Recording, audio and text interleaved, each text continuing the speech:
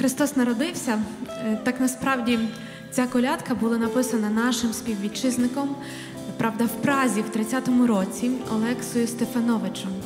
І передає всю, всю просто атмосферу е, нашого українського Різдва. Тому запрошуємо вас просто зануритись в неї і прославити нашого Бога.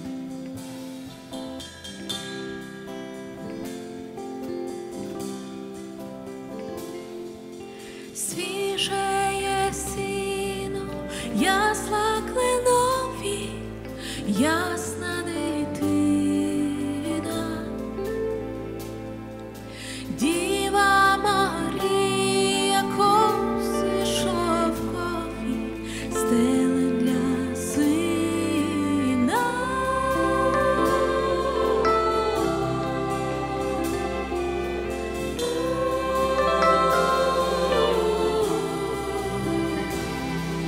Be